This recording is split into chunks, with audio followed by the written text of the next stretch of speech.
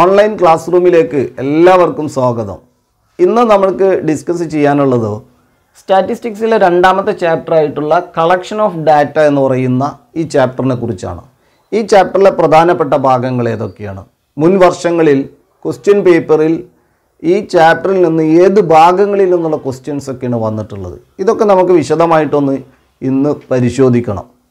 First ചാപ്റ്ററിൽ data എന്താണെന്നും എക്കണോമിക്സിലും സ്റ്റാറ്റിസ്റ്റിക്സിന്റെയും ഇമ്പോർട്ടൻസും അതിന്റെ റോളും ഇതൊക്കെയാണ് ഡിസ്കസ് ചെയ്തിരുന്നത്. ഇവിടെ ഡാറ്റയുടെ different types primary data secondary data അത്തരം ഡാറ്റകൾ കളക്ട് ചെയ്യുന്ന മെത്തേഡുകൾ മെയിലിംഗ് ക്വസ്റ്റ്യനെയറുകൾ പേഴ്സണൽ ഇന്റർവ്യൂ ടെലഫോണിക് ഇന്റർവ്യൂകൾ അതുപോലെ surveys census sample survey pilot survey അങ്ങനെ പറയുന്ന മെത്തേഡുകളെക്കുറിച്ചും ഒക്കെ വിശദമായിട്ട് ഈ ചാപ്റ്ററിൽ ഡിസ്കസ് ചെയ്യുന്നുണ്ട്. നമുക്ക് പ്രധാനമായിട്ട് അറിയേണ്ടത് മുൻകാലങ്ങളിൽ ഈ ചാപ്റ്ററിൽ നിന്ന് ക്വസ്റ്റ്യൻ പേപ്പറിൽ ഏത് തരത്തിലുള്ള ചോദ്യങ്ങളൊക്കെയാണ് വന്നിട്ടുള്ളത്? അത് ആദ്യം നമുക്ക് പരിശോധിക്കാം. അതോടൊപ്പം തന്നെ നമുക്ക് മനസ്സിലാക്കാൻ സാധിക്കും എത്ര കണ്ട് വെയിറ്റേജ് ഈ ചാപ്റ്ററിന് കൊടുത്തിട്ടുണ്ട് എന്നുള്ളത്. പ്രീവിയസ് ആയിട്ടുള്ള ഒരു നാല് ക്വസ്റ്റ്യൻ പേപ്പറിലെ പ്രധാനമായിട്ടും വന്ന ഈ ചാപ്റ്ററിൽ നിന്ന് ചോദിച്ചിരിക്കുന്ന ചോദ്യങ്ങൾ ഏതൊക്കെയാണെന്നുള്ളത് നിങ്ങൾക്ക് ഇവിടെ സ്ക്രീനിൽ കാണാവുന്നതാണ്. അത് ആദ്യം നമുക്ക് അതൊന്ന് പരിശോധിച്ച് നോക്കാം. രണ്ടാമത്തെ ചാപ്റ്റർ ആയിട്ടുള്ള കളക്ഷൻ ഓഫ് ഡാറ്റ എന്ന് പറയുന്നിടത്ത് ഒരു ക്വസ്റ്റ്യൻ പ്രീവിയസ് ആയിട്ട് വന്നത് ഇതായിരുന്നു. Identify the importance of pilot survey pilot സർവേയുടെ ഇമ്പോർട്ടൻസ് എന്താണെന്നുള്ളത് എഴുതേണ്ടതാണ്.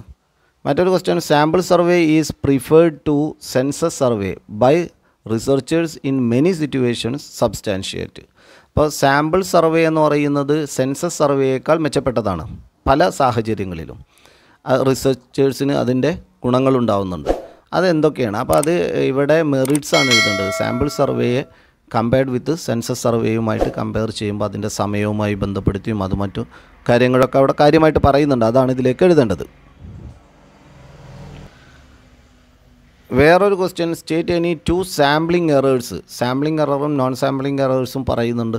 അതിലെ രണ്ട് സാമ്പിളിംഗ് എറേഴ്സ് ഇതിലേക്ക് കൊടുക്കണം. അത്തരത്തിലുള്ളൊരു ക്വസ്റ്റ്യനാണ് ചോദിച്ചത്. വേറൊരു question give examples for quantitative and qualitative classification ക്വാണ്ടിറ്റേറ്റീവും ക്വാളിഫിക്കേ ക്വാളിറ്റേറ്റീവും ക്ലാസിഫിക്കേഷൻ ഡാറ്റയെ ഇപ്പോൾ സെക്സ് അതുപോലെ ഏജ് മാർക്സ് കളറ് ഇങ്ങനെ പറയുന്നതിൽ നിന്ന് തന്നെ നമുക്ക് വേർതിരിച്ചെടുക്കാവുന്നതേ ഉള്ളൂ ആ രീതിയിൽ എക്സാമ്പിളും കൂടി വെച്ചിട്ട് ഇവിടെ അത് എഴുതാം.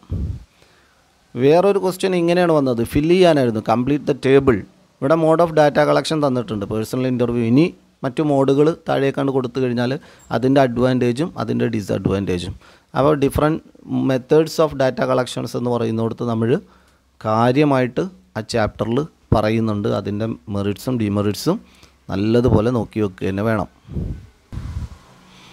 വേറൊരു മൾട്ടിപ്പിൾ ലെവൽ ക്വസ്റ്റ്യൻ ആയിരുന്നു. Primary data are collected by way of personal ഇന്റർവ്യൂവിലാണോ mailing ക്വസ്റ്റ്യനിയറിലാണോ ടെലഫോണിക് ഇന്റർവ്യൂ ആണോ ഓൾ ഓഫ് ദി എല്ലാം ആണോ? നമുക്ക് ആ കാര്യം ആ ഭാഗം നമുക്ക് പരിശോധിച്ചപ്പോൾ മനസ്സിലായതാണ് ഇതെല്ലാം കൂടിയാണ് എന്നുള്ളത് അല്ലേ? പിന്നീട് കണ്ടൊരു question what are the points to be kept in mind while preparing a good questionnaire അപ്പോൾ qualities of a good questionnaire എന്ന് പറയുന്നതാണ് ഇവിടെ കൊടുക്കേണ്ടത്. ഒരു ചോദ്യാവലിയുടെ ഗുണങ്ങൾ അല്ലെങ്കിൽ അതിന്റെ പ്രത്യേകതകൾ എങ്ങനെയൊക്കെ ഉള്ളതായിരിക്കണം. ആ ചാപ്റ്ററിൽ തന്നെ വിശദമായിട്ട് ആ ഭാഗങ്ങളൊക്കെ അത് ചെറുതായിരിക്കണം ലളിതമായിരിക്കണം. ക്വസ്റ്റ്യൻ നേരിട്ടുള്ളതായിരിക്കണം ഓപ്പൺ എൻഡഡ് ആവരുത് അങ്ങനെ പറയുന്ന കാര്യങ്ങളൊക്കെ പറയുന്നുണ്ടല്ലോ. ആ കാര്യങ്ങൾ നന്നതുപോലെ ശ്രദ്ധിച്ചു വെക്കണം. പിന്നീട് കണ്ടത് non sampling error can be minimised by taking ഒരു മൾട്ടിപ്പിൾ ലെവൽ ക്വസ്റ്റ്യൻ ആണ്. നോൺ സാമ്പിളിംഗ് എറർ നേരത്തെ സാമ്പിളിംഗ് എററിനെ കുറിച്ച് ചോദിച്ചു. ഇതുപോലെ തന്നെ മറ്റൊരു ക്വസ്റ്റ്യൻ പേപ്പറിൽ നോൺ സാമ്പിളിംഗ് എററിന്റെ മൾട്ടിപ്പിൾ ലെവൽ ക്വസ്റ്റ്യൻ ആണ്. പിന്നെ ഇവിടെ നോക്കൂ ഒരു ലെങ്തി ആയിട്ടുള്ളൊരു ക്വസ്റ്റ്യൻ ആണ്. അത് നാഷണൽ സാമ്പിൾ സർവേ ഓഫീസ് അല്ലേ N S S O is a national national level agency to collect process and tabulate the statistical data find other two national level agencies പിന്നെ മറ്റുള്ള ഏജൻസികൾ ഏതൊക്കെയാണ്? ഈ ചാപ്റ്ററിലെ അവസാന ഭാഗത്ത് അത് നമ്മൾ പറയുന്നുണ്ടല്ലോ. ഏതൊക്കെ ഏജൻസികളാണ് എന്നുള്ളത്. അത് നോക്കി വെക്കുക തന്നെ വേണം കേട്ടോ. മറ്റൊരു ക്വസ്റ്റ്യൻ പേപ്പറിൽ കണ്ടത് ഈ ഒരു ക്വസ്റ്റ്യൻ ആണ്. Census method and sampling survey are generally used to collect the data bring and economics students point out the three merits of census method അപ്പോൾ സെൻസസ് മെത്തേഡും അതുപോലെ സാമ്പിളിംഗ് സർവേയും ഈ ഒരു ക്വസ്റ്റ്യൻ തന്നെ നേരത്തെയും മറ്റൊരു ക്വസ്റ്റ്യൻ പേപ്പറിൽ നമ്മൾ കണ്ടതാണ്. ഇവിടെ ചോദിച്ചിരിക്കുന്നത് സെൻസസ് മെത്തേഡിന്റെ മെറിറ്റ്സ് ആണ് കൊടുക്കേണ്ടത്. അതൊരു കോംപ്രിഹെൻസീവ് ആണ് റിലയബിൾ ആയിരിക്കും അല്ലേ? അങ്ങനെ പറയുന്ന കുറച്ച് കാര്യങ്ങൾ ആ ഭാഗത്ത് പറയുന്നുണ്ട്. അതാണ് ഇതിലേക്ക് ചേർത്ത് വെക്കേണ്ടത്. ഇപ്പോൾ ഇവിടെ കണ്ടു കഴിഞ്ഞു പ്രധാനമായിട്ടും ഈ ചാപ്റ്ററിൽ നിന്ന് വന്നിരിക്കുന്ന ക്വസ്റ്റ്യൻസ് ഏതൊക്കെയാണെന്നുള്ളത്. ആ ക്വസ്റ്റ്യന്റെ ഏരിയയാണ് നമ്മൾ പ്രത്യേകമായിട്ട് എടുക്കേണ്ടത്. ആ ഏരിയകൾക്ക് പ്രത്യേക പ്രാധാന്യം കൊടുത്തുകൊണ്ട് വേണം ആ ചാപ്റ്റർ നമ്മൾ കാര്യമായിട്ട് എടുത്ത് ഇമ്പ്രൂവ്മെന്റ് എക്സാമിനേഷന് വേണ്ടി പഠിക്കേണ്ടത്. അപ്പോൾ അതുകൊണ്ട് തന്നെ നമ്മുടെ ക്ലാസ് റൂമിൽ തന്നെ ഈ കളക്ഷൻ ഓഫ് ഡാറ്റ എന്ന് പറയുന്ന ഈ ചാപ്റ്റർ രണ്ട് പാർട്ടുകളായിട്ട് നമ്മൾ അതിനെ ഡിസ്കസ് ചെയ്തിട്ടുണ്ട്. അതിനെ മൊത്തമായിട്ടൊന്ന് എടുത്ത് നമുക്ക് ഇവിടെ ഒന്ന് കണ്ടു നോക്കാം. ഇവിടെ നമുക്ക് സ്ക്രീനിൽ തന്നെ അതൊന്ന് പ്രസന്റ് ചെയ്യാം. നിങ്ങൾ ശ്രദ്ധിച്ച് നോക്കുക ഈ കളക്ഷൻ ഓഫ് ഡാറ്റ എന്ന് പറയുന്നിടത്ത് പ്രധാനപ്പെട്ട ഭാഗങ്ങളൊക്കെയാണ് നമ്മളിവിടെ ഡിസ്കസ് ചെയ്തിരിക്കുന്നത്. ഒന്ന് ശ്രദ്ധിച്ചു നോക്കുക പ്ലസ് വൺ സാമ്പത്തിക ശാസ്ത്രത്തിന്റെ ഭാഗമായി നിൽക്കുന്ന സ്റ്റാറ്റിസ്റ്റിക്സിലെ രണ്ടാമത്തെ ചാപ്റ്റർ ആയിട്ടുള്ള കളക്ഷൻ ഓഫ് ഡാറ്റ എന്ന് പറയുന്നതാണ്. എന്തുകൊണ്ടും വളരെ പ്രാധാന്യമുള്ള ഒരു ചാപ്റ്റർ കൂടിയാണത്. സ്റ്റാറ്റിസ്റ്റിക്സിനെ സംബന്ധിച്ചിടത്തോളം ഡാറ്റ എന്ന് പറയുന്നതുമായി ബേസ് ചെയ്തിട്ടാണ് അതിന്റെ പഠനം തന്നെ മുന്നോട്ട് പോകുന്നത്. ഈ ചാപ്റ്റർ തുടക്കത്തിൽ തന്നെ പറഞ്ഞു വെക്കുന്നത് ഡാറ്റ എന്ന് പറയുന്നത് എനി പീസ് ഓഫ് ഇൻഫർമേഷൻ പൊതുവേ ഡാറ്റയെക്കുറിച്ച് പറയുക any piece of information that is data ഒരു ഏതൊരു ചെറിയ കാര്യവും ഒരു ഒരു വിവരം ഒരു ചെറിയൊരു വിവരം അതിനെ നമുക്ക് ഡാറ്റയായിട്ട് പറയാം. എന്നാൽ സ്റ്റാറ്റിസ്റ്റിക്സിൽ ന്യൂമറിക്കലായിട്ടുള്ള ഫാക്റ്റുകളെയാണ് നമ്മൾ ഡാറ്റയായിട്ട് കൂടുതലായിട്ടും എടുത്ത് ഉപയോഗിക്കുന്നത്. എന്നാൽ ഡാറ്റ ലഭിക്കുന്നത് എവിടെ നിന്നാണ്? ഈ ചാപ്റ്റർ പിന്നീട് ചർച്ച തുടരുന്നത് അങ്ങനെയാണ്. ഡാറ്റ സോഴ്സസ് ഓഫ് ഡാറ്റ എന്ന് പറയുന്നത്. അത് ഇന്റേണലുമുണ്ട് എക്സ്റ്റേണലുമുണ്ട് ഇതിൽ പ്രധാനമായിട്ടും എക്സ്റ്റേണൽ സോഴ്സസിനെ കുറിച്ചാണ് ഈ ചാപ്റ്റർ കൈകാര്യം ചെയ്യുന്നത്. എക്സ്റ്റേണൽ സോഴ്സസ് ഓഫ് ഡാറ്റ എന്ന് പറയുന്നിടത്ത് പുറമേ നിന്ന് ലഭിക്കുന്ന ഡാറ്റകൾ എന്ന് പറയുന്നത് അത് രണ്ട് തരത്തിൽ ഉള്ള ഡാറ്റകളുണ്ട് ഒന്ന് പ്രൈമറി ഡാറ്റയാണ് മറ്റൊന്ന് സെക്കൻഡറി ഡാറ്റയാണ് പ്രൈമറി ഡാറ്റ എന്ന് പറയുന്നത് ഫ്രഷ് ഹാൻഡ് ഫസ്റ്റ് ഹാൻഡ് ഇൻഫർമേഷനാണ് അല്ലെങ്കിൽ അതിനെ ഒറിജിനൽ ഡാറ്റ എന്ന് പറയാം. അത്തരം ഡാറ്റകൾ ലഭിക്കാൻ വളരെ എക്സ്പെൻസീവ് ആണ്. സെക്കൻഡറി ഡാറ്റ എന്ന് പറയുന്നത് പബ്ലിഷ്ഡ് ഡാറ്റയോ അല്ലെങ്കിൽ അൺപബ്ലിഷ്ഡ് ഡാറ്റയോ ആണ്. അത് അത്ര അത് ലഭിക്കുക എന്ന് പറയുന്നത് വലിയ എഫേർട്ടല്ല പ്രൈമറി ഡാറ്റയെ അപേക്ഷിച്ച് സെക്കൻഡറി ഡാറ്റ എന്ന് പറയുന്നത് ഈസിലി ആക്സസിബിൾ ആണ്. ഈ ചാപ്റ്റർ ഈ പ്രൈമറി ഡാറ്റ എങ്ങനെയാണ് കളക്ട് ചെയ്യുന്നത്? സെക്കൻഡറി ഡാറ്റ എങ്ങനെയാണ് കളക്ട് ചെയ്യുന്നത്? അതിന്റെ മെത്തേഡുകൾ എന്തൊക്കെയാണെന്നാണ് പിന്നീട് പറഞ്ഞു പോകുന്നത്. രീതികൾ ഡാറ്റ കളക്ട് ചെയ്യുന്ന രീതികൾ ഏതൊക്കെയാണ്? അത് പ്രധാനമായിട്ടും പറയുന്നത് പേഴ്സണൽ ഇന്റർവ്യൂ ടെലഫോണിക് ഇന്റർവ്യൂ അതുപോലെ മെയിലിംഗ് ക്വസ്റ്റിനെയർ പേഴ്സണൽ ഇന്റർവ്യൂ എന്ന് പറയുന്നത് നമുക്കറിയാം പേഴ്സൺ ടു പേഴ്സൺ ആണ്. ഒരു വ്യക്തി മറ്റൊരു വ്യക്തിയിൽ നിന്ന് ചോദിച്ച് വിവരങ്ങൾ ശേഖരിക്കലാണ്. മറ്റൊന്ന് ടെലഫോണിക് ഇന്റർവ്യൂ ആണ്. ടെലഫോൺ വഴി ടെലഫോൺ ചെയ്ത് വിവരങ്ങൾ ശേഖരിക്കുക. വേറൊരെണ്ണം മെയിലിംഗ് ക്വസ്റ്റ്യനെയറുകൾ ക്വസ്റ്റ്യനുകൾ തയ്യാറാക്കി ക്വസ്റ്റ്യനെയറുകൾ തയ്യാറാക്കി അത് അയച്ചു കൊടുത്ത് വിവരങ്ങൾ അതുമായി ബന്ധപ്പെട്ട വിവരങ്ങൾ ശേഖരിക്കലാണ് മെയിലിംഗ് ക്വസ്റ്റ്യനെയർ അപ്പോൾ ഇവിടെ ഈ മൂന്ന് രീതികൾക്കും അതിന്റേതാവുന്ന ഗുണങ്ങളും അതിന്റേതാവുന്ന പോരായ്മകളും ഉണ്ട്. അതിൽ പേഴ്സണൽ ഇന്റർവ്യൂ എടുക്കുകയാണെന്നുണ്ടെങ്കിൽ അതിന്റെ മെറിറ്റ്സ് അഡ്വാന്റേജ് എന്താണെന്ന് ചോദിച്ചു കഴിഞ്ഞാൽ ഈ ഈ ഇതുവഴി പേഴ്സണൽ ഇന്റർവ്യൂ വഴി വിവരങ്ങൾ ശേഖരിക്കുക എന്ന് പറയുമ്പോൾ അവിടെ നിന്ന് കിട്ടുന്ന ഡാറ്റകൾ ഒറിജിനലായിരിക്കും റിലയബിളായിരിക്കും വിശ്വസനീയമായിട്ടുള്ള ഡാറ്റകളാണ് അവിടെ നിന്ന് കിട്ടുക. അതുപോലെ മിസ് ഇന്റർപ്രിട്ടേഷൻ നടത്തേണ്ട ആവശ്യമില്ല. കാരണം അവിടെ നിന്ന് കിട്ടുന്ന ഡാറ്റ പേഴ്സണൽ ഇന്റർവ്യൂ നേരിട്ട് ആ വ്യക്തിയിൽ നിന്ന് വിവരം ശേഖരിക്കുമ്പോൾ ഏതെങ്കിലും തരത്തിൽ സംശയങ്ങളുണ്ടെങ്കിൽ അദ്ദേഹത്തോട് തന്നെ ചോദിച്ച് അത് ക്ലാരിഫൈ ചെയ്ത് ഇതിലേക്ക് വിവരങ്ങളാക്കി മാറ്റാൻ സാധിക്കും. പേഴ്സണൽ ഇന്റർവ്യൂവിന് വേറെ ഒരു ഗുണമെന്ന് പറയുന്നത് ഹൈ റെസ്പോൺസ് ആണ്. ചോദിച്ചാൽ ഉത്തരം നേരെ നേരിട്ട് അഭിമുഖം നടത്തുന്നത് കൊണ്ട് തന്നെ നേരിട്ട് നടത്തുന്ന അഭിമുഖമായതുകൊണ്ട് തന്നെ റെസ്പോൺസ് കൂടുതലായിരിക്കും. ഈ പേഴ്സണൽ ഇന്റർവ്യൂവിന്റെ ലിമിറ്റേഷൻസ് എന്ന് പറയുമ്പോൾ ഇത് ടൈം കൺസ്യൂമിംഗ് ആണ്. ഒരുപാട് സമയം വേണം ഇതിന് ഈ വിവരം ശേഖരിക്കണമെങ്കിൽ. അതുപോലെ ഇത് വലിയൊരു എഫേർട്ട് ഇതിന്റെ പിറകിൽ വേണം. വലിയൊരു എഫേർട്ട് എടുത്താലേ കുറേ എന്യൂമറേറ്റേഴ്സ് വേണം. നേരിട്ട് ഓരോരുത്തരുമായിട്ട് അഭിമുഖം നടത്തിയിട്ടാണ് വിവരങ്ങൾ ശേഖരിക്കുന്നത്. അതുകൊണ്ട് അങ്ങനെ വലിയൊരു എഫേർട്ട് കുറേ എന്യൂമറേറ്റേഴ്സ് ഇതിന് വേണം. ഒരു വലിയ ഏരിയയിൽ നിന്ന് വലിയ ഒരു കൂട്ടത്തിൽ നിന്ന് വിവരങ്ങൾ ശേഖരിക്കുക എന്ന് പറയുന്നത് വലിയ പ്രയാസമാണ്. ഇതൊക്കെ ഇതിന്റെ ലിമിറ്റേഷൻസ് ആണ്. പേഴ്സണൽ ഇന്റർവ്യൂവിന്റെ ലിമിറ്റേഷൻസ് ആണ്. മറ്റൊരെണ്ണം പറയുന്നത് ടെലിഫോണിക് ഇന്റർവ്യൂ ആണ്. ടെലിഫോൺ ചെയ്തുകൊണ്ട് വിവരങ്ങൾ ശേഖരിക്കുക. അപ്പോൾ ടെലഫോണിക് ഇന്റർവ്യൂവിന്റെ മെറിറ്റ്സ് ആയിട്ട് പറയാവുന്നത് ഒരു വളരെ ഫാസ്റ്റായിട്ട് വിവരങ്ങൾ കിട്ടുന്നു എന്നുള്ളതും അതുപോലെ ഇതിന്റെ എക്സ്പെൻസ് കമ്പാരിറ്റീവ്ലി കുറവാണ് എന്നുള്ളതും അതേസമയം ഇത് ടൈം സേവിങ് ആണ്.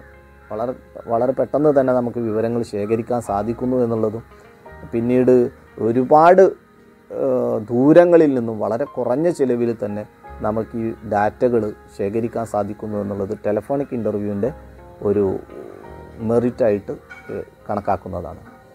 ഇനി മെയിലിംഗ് ക്വസ്റ്റ്യനെയറാണ് ഈ ക്വസ്റ്റ്യൻസൊക്കെ തയ്യാറാക്കിയിട്ട് അത് അയച്ചു കൊടുത്ത് അത് എവിടെ നിന്നാണ് അവിടെ നിന്ന് വിവരങ്ങൾ ശേഖരിച്ച് ശേഖരിക്കുന്ന രീതിയാണ് മെയിലിംഗ് ക്വസ്റ്റ്യനെയർ എന്ന് പറയുന്നത്.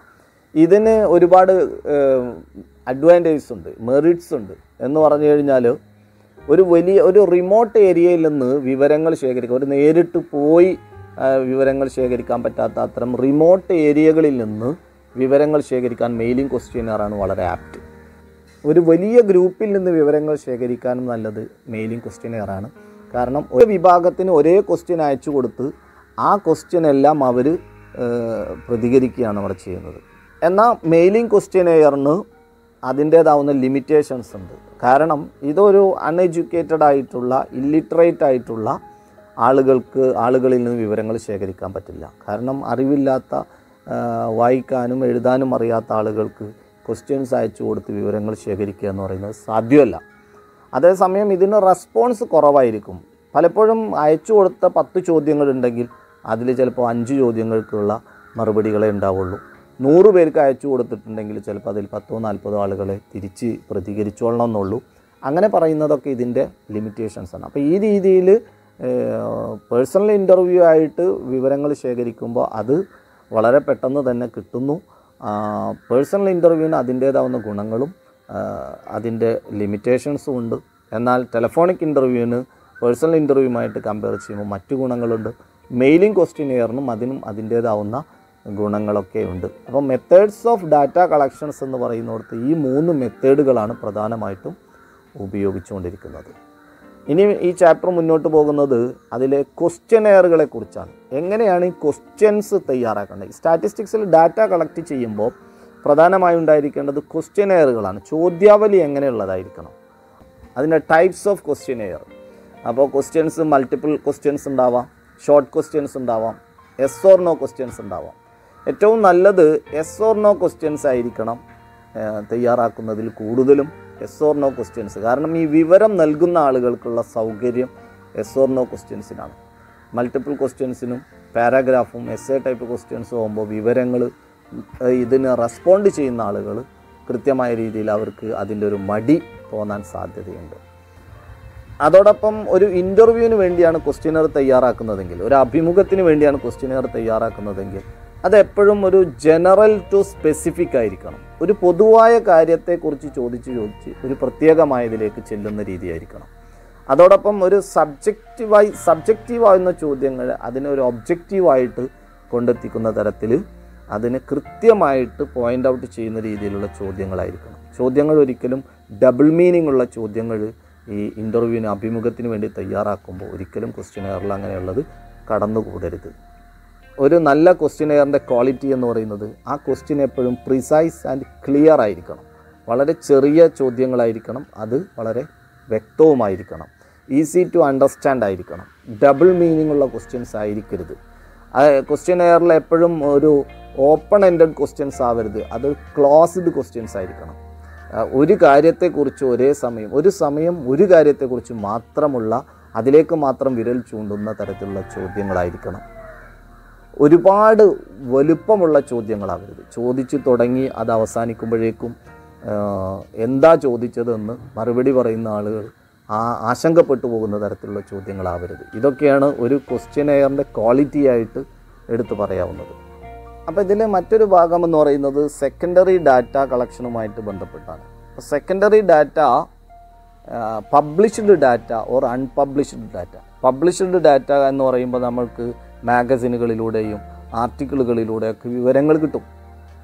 അത്തരം അങ്ങനെ കളക്ട് ചെയ്യുന്നതാണ് ഈ സെക്കൻഡറി ഡാറ്റ എന്ന് പറയുന്നത്. സെക്കൻഡ് ഹാൻഡ് ഡാറ്റയാണ് അത് മറ്റൊരാൾ കണ്ടെത്തി അത് പബ്ലിഷ് ചെയ്തിട്ടുള്ള ഡാറ്റകളാണ് പിന്നെ അൺപബ്ലിഷ്ഡ് ഡാറ്റകളുണ്ട് ഇപ്പോൾ government state government central government ഒക്കെ മെയിന്റെയിൻ ചെയ്യുന്ന ഡാറ്റകൾ റെക്കോർഡുകളുണ്ട് ഇപ്പോൾ റിസർച്ച് സ്കോളേഴ്സ് അതുപോലെ അവരൊക്കെ മെയിന്റെയിൻ ചെയ്യുന്ന ഡാറ്റകളുണ്ട് അതുപോലെ പ്രൈവറ്റ് ഫേമുകൾ അവരുടെ കോൺഫിഡൻഷ്യൽ ആയിട്ടുള്ള ഡാറ്റകളുണ്ട് ഇതൊക്കെ സെക്കൻഡറി ഡാറ്റകളാണ് പബ്ലിഷ് ചെയ്യുന്നത് ഗൂഗിളിൽ നിന്നോ അല്ലെങ്കിൽ മറ്റുള്ള മീഡിയകളിൽ നിന്നോ അല്ലെങ്കിൽ ന്യൂസ് പേപ്പറുകളിൽ നിന്നോ ആർട്ടിക്കിളുകളിൽ നിന്നോ ഒക്കെ മാഗസീനുകളിൽ നിന്നൊക്കെ കളക്ട് ചെയ്യുന്ന ലഭിക്കുന്ന വിവരങ്ങളെയാണ് സെക്കൻഡറി ഡാറ്റ എന്നുള്ളത് വിശേഷിപ്പിക്കുന്നത്. എന്നത് enumeration of all items in the population is വിവരങ്ങൾ ശേഖരിക്കുന്നതാണ് സെൻസസ് മെത്തേഡ് എന്ന് പറഞ്ഞത് അപ്പോൾ ഉദാഹരണത്തിന് ജനസംഖ്യയുമായി ബന്ധപ്പെട്ട് പോപ്പുലേഷനുമായി ബന്ധപ്പെട്ട്. നമ്മുടെ ഇന്ത്യയിൽ ഓരോ പത്ത് വർഷം കൂടുമ്പോഴും ഇന്ത്യയിലെ പോപ്പുലേഷൻ സെൻസസ് റിപ്പോർട്ടുകൾ പുറത്തു വരാറുണ്ട്. അപ്പോൾ സെൻസസ് എന്ന് പറയുന്നത് ഇപ്പോൾ ജനസംഖ്യയുമായി ബന്ധപ്പെടുത്തിയാണെങ്കിൽ ജനസംഖ്യയുമായി ബന്ധപ്പെട്ട എല്ലാ വിവരങ്ങളും ശേഖരിക്കുന്നതിന് ഇതിനെ ഇങ്ങനെ വിവരശേഖരണത്തിനെയാണ് സെൻസസ് എന്ന് പറയുന്നത്. മറ്റൊന്ന് സർവേ ആണ്. സർവേ എന്ന് പറയുമ്പോൾ taking sample to represent the character of a group ഒരു ഗ്രൂപ്പിന്റെ പൊതുവായിട്ടുള്ള നേച്ചർ അറിയണമെങ്കിൽ ആ ഗ്രൂപ്പിൽ നിന്ന് ഏതാനും ആളുകളിൽ നിന്നും ശേഖരിച്ച് ഒരു നിഗമനത്തിലെത്തും. അങ്ങനെ ആ ഗ്രൂപ്പിൽ നിന്ന് ഏതാനും ആളുകളിൽ നിന്ന് വിവരങ്ങൾ ശേഖരിച്ചുകൊണ്ടുള്ള ഒരു രീതിയാണെങ്കിൽ അതിനെ സാമ്പിൾ സർവേ എന്നാണ് പറയുക. അപ്പോൾ സെൻസസ് എന്ന് പറയുന്നത് ഒരു കോംപ്രിഹെൻസീവ് ആയിട്ടുള്ള വിവരശേഖരണ രീതിയാണെങ്കിൽ സർവേ എന്ന് പറയുന്നത് ഒരു റെപ്രസെന്റേറ്റീവ് ആയിട്ടുള്ള വിവരശേഖരണ രീതിയാണ്. ഇനി ആ ചാപ്റ്ററിൽ ഒരു ചെറിയ മാർക്കിനൊക്കെ ചോദ്യങ്ങളായിട്ട് വരാറുള്ളത് പൈലറ്റ് സർവേയെക്കുറിച്ച് പറയാറുണ്ട്. പൈലറ്റ് സർവേ എന്ന് പറയുന്നത് ഇതൊരു പ്രീ ടെസ്റ്റിംഗ് ആണ്. അല്ലെങ്കിൽ ഒരു ട്രൈ ഔട്ട് ഓഫ് ക്വസ്റ്റ്യനെയർ എന്ന് വേണമെങ്കിൽ പറയാം. ഒരു സർവേ നടത്തുന്നതിന് മുന്നേ നമ്മൾ അതുമായി ബന്ധപ്പെട്ട ക്വസ്റ്റ്യനെയറുകൾ തയ്യാറാക്കും. ആ ക്വസ്റ്റ്യനെയറുകളുടെ ആക്യുറസിയും റിലയബിലിറ്റിയും ആ ക്വസ്റ്റ്യനെയറുടെ എഫക്റ്റീവ്നെസ് ഒക്കെ അറിയാൻ ഒരു കുറച്ച് ആളുകളിൽ ഇതിൽ ഇത് ട്രൈ ഔട്ട് ചെയ്യും. സാമ്പിൾ സർവേക്ക് സെൻസസ് മെത്തേഡുമായി ബന്ധപ്പെടുത്തുമ്പോൾ സർവേക്ക് ഒരുപാട് ഗുണങ്ങളുണ്ട്. അത് വളരെ പെട്ടെന്ന് തന്നെ അതിന്റെ റിസൾട്ടിലേക്ക് എത്തിച്ചേരാൻ സാധിക്കുന്നു ഡാറ്റ കളക്ട് ചെയ്യാൻ സാധിക്കുന്നു. എഫേർട്ട് കുറവാണ് ചിലവുകൾ കുറവാണ്. തുടങ്ങി അതിനൊരുപാട് മെറിറ്റ്സുകളുണ്ട് പല കമ്പനികളും അവർ സാമ്പിൾ സർവേയിലൂടെയാണ് അവരുടെ മാർക്കറ്റ് പഠനങ്ങൾ നടത്തുന്നത്. അങ്ങനെ ഒരു വിശാലമായ മാർക്കറ്റിലെ എല്ലാവരിൽ നിന്നും വിവരങ്ങൾ ശേഖരിക്കുന്നതിന് പകരം ഒരു വളരെ തിരഞ്ഞെടുക്കപ്പെടുന്ന കുറച്ച് ആൾ ഒരു ഗ്രൂപ്പുകളിൽ നിന്ന് മാത്രം റെപ്രസെന്റിംഗ് ഗ്രൂപ്പിൽ നിന്ന് വിവരങ്ങൾ ശേഖരിച്ചുകൊണ്ട് അവർ ഒരു നിഗമനത്തിലെത്തുന്നു. എന്നിട്ട് അവരുടെ പ്രോഡക്റ്റുകൾ അവരെത്തിക്കുകയാണ് ചെയ്യുന്നത്. അപ്പോൾ സാമ്പിൾ സർവേക്ക് അതിന്റേതായ ഗുണങ്ങളുണ്ട്. എന്നാൽ അതേസമയം ഇതിന്റെ ഡിമെറിറ്റ്സ് എന്ന് പറയുന്നത് ഇത് പലപ്പോഴും വേണമെങ്കിൽ തെറ്റിപ്പോകാം. കാരണം മുഴുവൻ വിവരശേഖരണം നടത്തിയിട്ടല്ല ഇങ്ങനെ ഒരു നിഗമനത്തിലെത്തുന്നത്. എന്നുള്ളത് തന്നെയാണ് ഇതിന്റെ ഏറ്റവും പ്രധാനപ്പെട്ട ഡീമറിറ്റ്സ് എന്ന് പറയുന്നത്. സർവേ ആ ചാപ്റ്റർ പിന്നീട് മുന്നോട്ട് പോകുന്നത് സാമ്പിൾ സർവേ മെത്തേഡുകളെ കുറിച്ചാണ്. അവിടെ രണ്ട് മെത്തേഡുകളാണ് പരിചയപ്പെടുത്തുന്നത്. ഒന്ന് റാൻഡം മെത്തേഡും മറ്റൊന്ന് നോൺ റാൻഡം മെത്തേഡും റാൻഡം മെത്തേഡ് എന്ന് പറയുന്നത് ഒരു ഗ്രൂപ്പിൽ നിന്ന് വിവരശേഖരണം നടത്തുമ്പോൾ ഈക്വൽ ഓപ്പർച്യൂണിറ്റീസ് ഉണ്ടായിരിക്കും. അവിടെ സമാന സ്വഭാവമുള്ള ഗ്രൂപ്പുകളിൽ നിന്നാണ് എടുക്കുന്നതെങ്കിൽ ഒരു ഈക്വൽ ഓപ്പർച്യൂണിറ്റി റാൻഡമായിട്ടായിരിക്കും അവിടെ നിന്ന് സാമ്പിളുകൾ തിരഞ്ഞെടുക്കുന്നത്. എന്നാൽ നോൺ റാൻഡം സാമ്പിളിംഗ് ആണെങ്കിൽ അവിടെ ഒരു ഈക്വൽ ഓപ്പർച്യൂണിറ്റി ഉണ്ടാവും. വ്യക്തിയുമായിട്ട് ആ ഡാറ്റ കളക്ട് ചെയ്യുന്ന വ്യക്തിയുമായി ബന്ധപ്പെട്ട് അദ്ദേഹത്തിന്റെ ഇഷ്ടത്തിനനുസരിച്ചായിരിക്കും അവിടെ നിന്ന് സാമ്പിളുകൾ പിക്ക് ചെയ്യുന്നത്. എന്നാൽ റാൻഡം സാമ്പിളിംഗ് എന്ന് പറയുന്നതിന് ഒരു കൃത്യമായിട്ടൊരു ഈക്വൽ ഓപ്പർച്യൂണിറ്റി എന്ന് പറയുന്നത് ഉണ്ടായിരിക്കും. കാരണം ഒരു ഗ്രൂപ്പിൽ നിന്ന് വ്യത്യസ്ത സ്വഭാവങ്ങൾ ഉണ്ടാവുമ്പോൾ ഒരു അഞ്ച് സ്വഭാവക്കാരുണ്ട് എന്നുണ്ടെങ്കിൽ അഞ്ച് സ്വഭാവത്തിൽപ്പെട്ട പല ഗ്രൂപ്പുകളാണെന്നുണ്ടെങ്കിൽ ഓരോ ഗ്രൂ ഗ്രൂപ്പുകളിൽ നിന്നും നിശ്ചിത സാമ്പിളുകൾ എടുക്കും. അതൊരു റാൻഡം സാമ്പിളിംഗ് ആയിരിക്കും. അതോടൊപ്പം ഈ പാഠഭാഗം മുന്നോട്ട് പോകുന്നത് റാൻഡം സാമ്പിളിങ്ങിനെ കുറിച്ച് റാൻഡം സാമ്പിളിങ്ങിന്റെ method meth different types of random sampling ആണ്. അതിൽ പറയുന്നത് റാൻഡം സാമ്പിളിംഗ് രീതികളെക്കുറിച്ച് പറയുമ്പോൾ അവിടെ ലോട്ടറി മെത്തേഡ് അതുപോലെ എക്സിറ്റ് പോളൊക്കെ റാൻഡം സാമ്പിളിംഗ് ആണ്. അതുപോലെ റാൻഡം സാമ്പിളിംഗ് നമ്പേഴ്സ് ഇതൊക്കെ ഈക്വൽ ഓപ്പർച്യൂണിറ്റീസ് പ്രൊവൈഡ് ചെയ്യാറുണ്ട്. ഇപ്പോൾ ലോട്ടറി മെത്തേഡ് ആണെന്നുണ്ടെങ്കിൽ നൂറ് പേരാണെങ്കിൽ നൂറ് പേരുടെയും പേരുകൾ എഴുതി ഒരു ബോക്സിലിട്ട് അതിൽ നിന്ന് പത്ത് പേരെയാണ് എടുക്കുന്നതെങ്കിൽ ആ നൂറ് പേർക്കും ഒരേ ചാൻസാണ് ആര് വേണമെങ്കിലും ആവാം. പത്ത് പേരെ വളരെ ബ്ലൈൻഡായിട്ട് പിക്ക് ചെയ്യുന്ന ഒരു രീതിയാണല്ലോ ലോട്ടറി മെത്തേഡ് പിന്നീട് ഇതിൽ പറയുന്നത് സാമ്പിളിംഗ് എറേഴ്സിനെ കുറിച്ചാണ്. അപ്പോൾ സാമ്പിളിംഗ് എറേഴ്സ് എന്ന് പറയുന്നത് the difference between the sample estimate and the actual value of the population.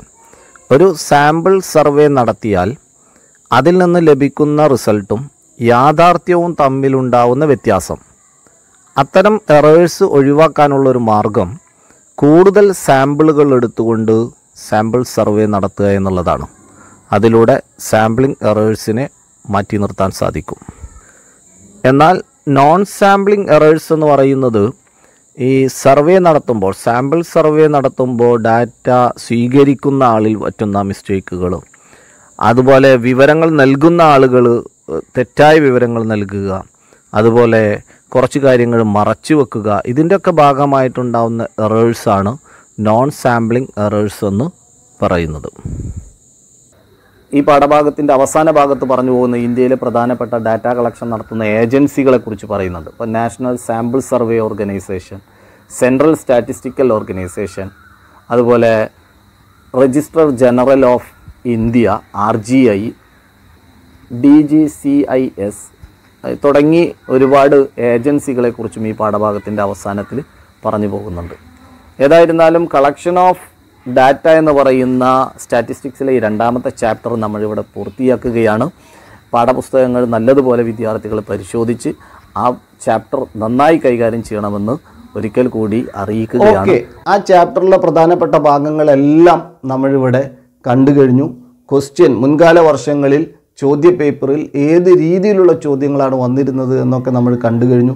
ഇനി നിങ്ങൾ ചെയ്യേണ്ടത് ആ ക്വസ്റ്റ്യനുകൾക്കൊക്കെ ആൻസർ കാരണം നമ്മൾ എക്സാം എന്ന് പറയുന്നത് എഴുതുകയാണ്. എഴുതുന്ന സമയത്താണ് നമ്മൾക്ക് അതിന്റെ സമയവും അതോടൊപ്പം തന്നെ ഓരോന്നും ഏത് രീതിയിൽ ആദ്യം ഏത് വരണം പിന്നീട് ഏത് വരണം ആ രീതിയിൽ ക്രമപ്പെടുത്തി എഴുതുകയും അതിനുശേഷം നമ്മൾ അതൊന്ന് വായിച്ചു നോക്കുമ്പോൾ ആ ക്വസ്റ്റ്യനോട് പൂർണമായ അർത്ഥത്തിൽ അതിനുള്ള ഉത്തരമാണോ നമ്മൾ എഴുതി കഴിഞ്ഞിരിക്കുന്നത് എന്നുള്ളത് മനസ്സിലാക്കാൻ സാധിക്കും.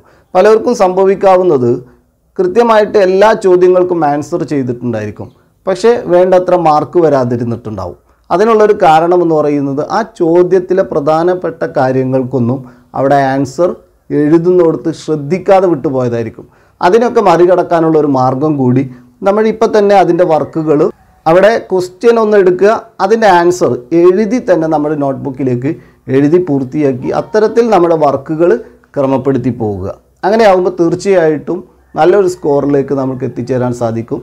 അടുത്ത ദിവസം നമുക്ക് മറ്റൊരു ചാപ്റ്ററുമായിട്ട് കണ്ടുമുട്ടാം. Okay bye